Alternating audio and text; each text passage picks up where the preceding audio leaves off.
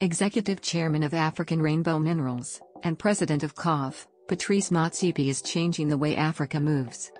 He wears many hats, including investor, executive, businessman, and futurist, roles that have paid him so well. According to Forbes, Motsepe's net worth is now up to $3.1 billion. He's without doubt, a definition of a versatile entrepreneur, who has diversified his business interests in many fields of endeavor, but his major source of income comes from the mining sector through his company, African Rainbow Minerals, or in short, ARM. He launched ARM in 1997. He began by focusing on the gold metal alone, but as the years went by, the company started expanding its interests to base metals, iron ore, manganese ore, and alloys, platinum group metals, copper, nickel, and coal. Beyond the mining sector, Motsepe is involved in other companies too, both locally and abroad, some of which have him on their board as an executive member. Patrice's father was a school teacher, and a small businessman, who owned a spaza shop that provided essentials for mine workers at a Closeby platinum mine. A young Patrice would sometimes operate the shop after school and during weekends. He learned the basic principles of business during the time he ran the spaza shop, this marked his first exposure to the mining world. Now the 100,000 trillion rand question, how did Motsepe go from being a spaza boy to having his pockets overflow with randelas? Well it's not an ABC answer, but to fully understand Motsepe's rags to riches story, let's take it back to Ga-Rankuwa, north of Pretoria, the place where Patrice Motsepe Motsepe spent most of his childhood. Patrice was born on the 28th of January 1962, to Augustine and Kay Motsepe. His father was a school teacher by profession, he was also a small businessman, who owned a spaza shop, mostly frequented by mine workers. Contrary to what most people believe, Motsepe wasn't born rich, or had any wealthy relatives. Like many black South Africans during apartheid, his parents were ordinary struggling people. Despite the difficult upbringing, Motsepe still had high hopes that things would turn out for the better in the future, and didn't let his poor background limit him in any way or form into trying really hard to make a better life for himself and those close by him. Motsepe went to a Roman Catholic boarding school in the Eastern Cape. After matriculating, he proceeded to obtain a Bachelor of Arts degree at the University of Swaziland, which was subsequently followed by a law degree from the University of the Witwatersrand. After getting his LLB, Patrice got a job offer from Bowman Gilfillan Law Firm in 1988. The firm was predominantly ran by whites, but after noticing Motsepe's drive, commitment and excellence in his job activities, his bosses took a unique interest in him. For over a year, Motsepe was a visiting attorney at McGuire Woods Law in the U.S., under the American Bar Association program.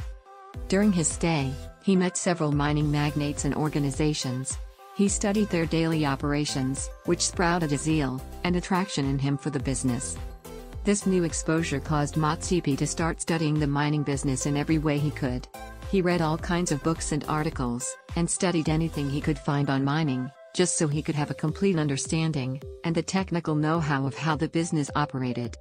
When he came back to SA, he continued working for the firm and once again, his hard work and commitment earned him a big win, as he was chosen to be the first black partner in Bowman Gilfillan in early 1994.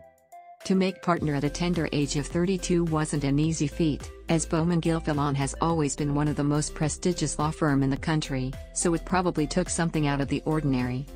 Shortly after the ANC won the 1994 democratic elections, Nelson Mandela became president of the country and his government made favorable policies to support black businesses. Motsepe left Bowman Gilfillan and took full advantage of the opportunity. He launched Future Mining in 1994, a company which provided necessary chores in mining, which includes the removing of gold dust inside mine shafts for the Vaal Reefs gold. Around 1997, gold prices plummeted heavily in the international market. This opened a window of opportunity and prompted Motsepe to take a leap in the mining business with a full force. During that time, Anglo Gold put an $8.2 million price tag on their low-performing small mine shafts, in order to redirect all their focus on the larger and highly performing mines. Once the gold mines were up for sale, Motsepe launched African Rainbow Minerals, through which he would later buy the mines. At this point, Motsepe was three years in the mining business and realized that success in mining didn't necessarily depend on the size alone but rather, any mine that better managed their finances and operations. Although he had been saving for years, the $8.2 million price tag was just above his pay grade. Faced with this dilemma, Motsepe ran to the banks for financial backup but they rejected him for two reasons, the mines he was trying to buy weren't profitable and also, no other black person has ever owned a mine before. Bobby Godsell, the CEO of Anglo's Gold and Uranium Division, came to Motsepe's rescue with the financial muscle. Bobby knew of Motsepe during the time he was providing services with Future Mining, they got to know each other and during that time, he observed Motsepe's burning desire to venture into the mining business. Bobby handed the mining shafts to Motsepe, under terms which allowed him to repay the $8.2 million debt out of the future earnings of the company. Like all ventures, it wasn't easy at first because the gold markets kept on plummeting and at some point, Motsepe was forced to lay off some of his stuff to keep the mines afloat. After 12 months of being in charge, Motsepe shocked the entire mining industry by making the mines profitable. In just three years, he turned the ship around by paying off all the debts and made the necessary foundations to make African Rainbow Minerals to become one of the largest mining companies in the world. After this success, in the year 2000, Motsepe partnered with Anglo Platinum, the world's largest platinum producer. This partnership was a 50-50 ratio, and together, they created the largest platinum producing mines in South Africa called Modikwa. In 2002, the company was listed on the Johannesburg Stock Exchange. In the same year, Motsepe won two major awards, South Africa's Business Leader of the Year, where he was voted by the chief executive officers of the top 100 companies in South Africa. And also, the winner of the Ernst & Young Best Entrepreneur of the Year award. More deals soon followed, as Motsepe led ARM Gold into a merger with Harmony Gold in 2003 to form ARM Gold, the fifth largest gold producer in the world, with an output of 4.1 million ounces per year. Motsepe didn't stop with mining. In the same year, he launched Ubuntu Botho Investments, and a year later, made a successful black economic empowerment deal with Sanlam. When the deal came to an end in 2014 after the debt was paid, UBI acquired a 13.5% stake in Sanlam. UBI has an 18.1% voting stake in Sanlam as its empowerment partner, with Motsepe personally owning 55% of UBI. UBI then founded African Rainbow Capital, a wholly owned subsidiary of UBI. ARC began to invest in what would ultimately be more than 40 companies including banking rookie, TymeBank, and telecommunications startup, Rain. He also bought a 51% stake into Sundowns to partner with its founders. The following year, he increased his stake from 51% to 100%, and officially renamed the club, Mamelodi Sundowns. According to Motsepe, renaming the club to Mamelodi Sundowns was a nod to its heritage in Atteridgeville, Eersterus, Laudium, and the club's home in Mamelodi. In 2009, Motsepe became the first black dollar billionaire in Africa. He's also known for his leadership and philanthropy. In 2013, he joined the Giving Pledge alongside Bill Gates and Warren Buffett, where he committed to give half his wealth to charitable causes. And in 2018, he pledged a further $250 million towards land reformation in South Africa. To appreciate the scale of the business empire Motsepe has built over the last 24 years, here's a breakdown of all the investments he's made in South Africa and abroad. Motsepe owns 39.7% of African Rainbow Minerals, a holding company owning a number of subsidiaries in the mining sector including ARM Gold, ARM Platinum, ARM Ferrous, and ARM Coal.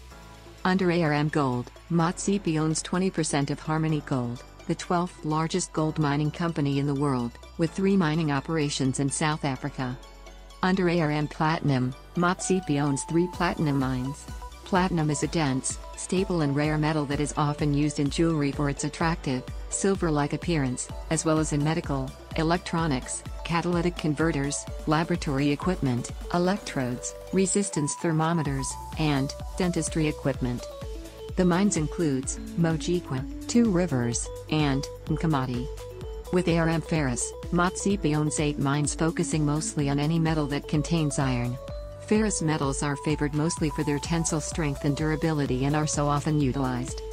The mines include Khumani, Beeshoek, Nchwaning, Gloria, Cato Ridge, Cato Ridge Alloys, Sakura, and Mikado Under ARM Coal, Motsepe has a 20.2% in certain Glencore operations in South Africa, participating coal business, and a 26% attributable beneficial interest in Goedgevonden.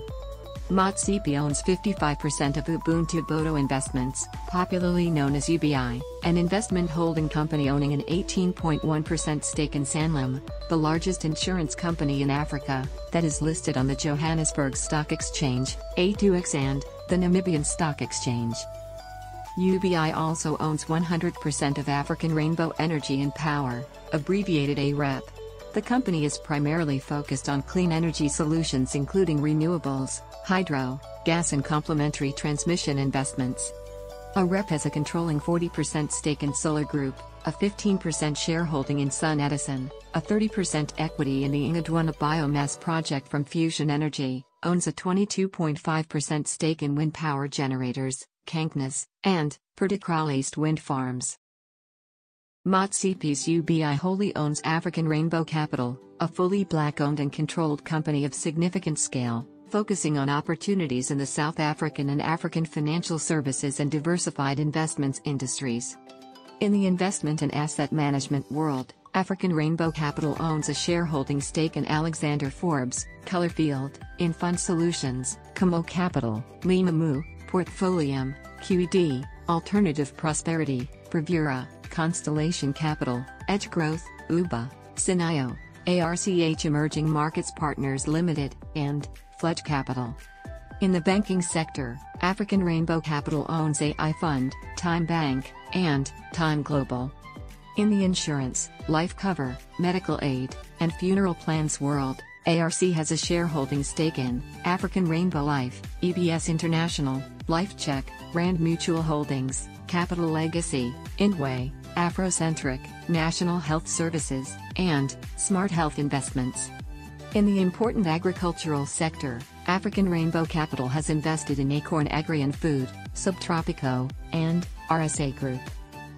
In the real estate sector, African Rainbow Capital owns a shareholding in ARC Real Estate, Barlow Park, Magic, and Val In the highly profitable telecommunications sector, African Rainbow Capital owns a shareholding stake in Metro Fiber and Rain.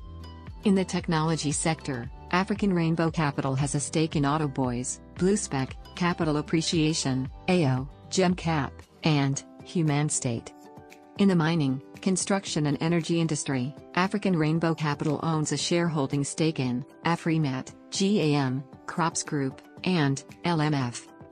ARC also owns a 20% stake in Cape Town based exchange, A2X, which was officially launched in 2014 by Sean Melnick, Ashley Mendelowitz, and Kevin Brady. Their goal was to create a new South African exchange to bring healthy competition to the marketplace. Motsepe is a huge sports fan, apart from owning Mamelodi Sundowns, he also owns a 37% stake in Blue Bulls, a rugby union team that participates in the annual Currie Cup tournament. Together, alongside South Africa's richest man, Johan Rupert, controls 75% of Blue Bulls. In January of this year, while many of us were trying to make ends meet, Motsepe splurged $5 million on a luxury wine farm called Hidden Valley, located near Stellenbosch in Somerset. Patrice Kopane Motsepe's success story is a remarkable one showing how curiosity, doggedness, perseverance, and the knack to exploit great opportunities as they come, can determine how successful or not any individual could become.